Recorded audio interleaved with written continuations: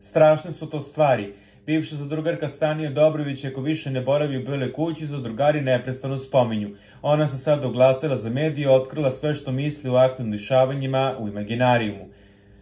To što je Dalila izjavila da je moje maslo što su oni car raskinuli ludost. Maja kakva god da jeste, bar je realna i iskrena. Vratila je cara u roku par sati jer je ona samo tako želela. Tačno je da sam je spremala za ulazak i zaista izdominirala, ali moj savjet nije bio da se miri sa carem, čak naprotiv. Savjetovala sam Maju da bude solo igrač i zavodnica. Na kraju se brzo preorijentisala na ovu situaciju i rekla je da Dalila najviše želi da se pomiri sa carem i da će time ponovo uništiti Dejan.